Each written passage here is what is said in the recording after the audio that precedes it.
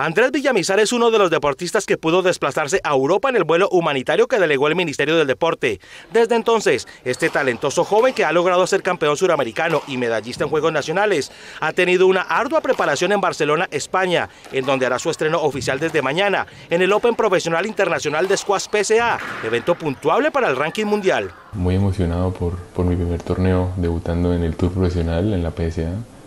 eh, me prepara mucho para esto, eh, digamos que es el, salto que se da de, ya a nivel de competir a nivel juvenil y bueno, a nivel profesional y bueno,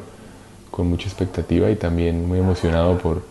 por ser el primer torneo después de mucho, mucho tiempo de, por el paro debido a la cuarentena. El santandereano se ha ido adaptando a los trabajos en España, donde el nivel de exigencia es mayor, que lo ha fortalecido en su etapa como deportista profesional y académica. La adaptación aquí en España ha sido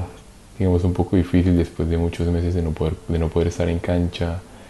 Eh, digamos que el estilo de juego es un poco diferente, eh, los españoles juegan, pues, tienen una, manera de ver el juego diferente a nosotros, pero bueno, eh, se ha trabajado duro durante los dos meses.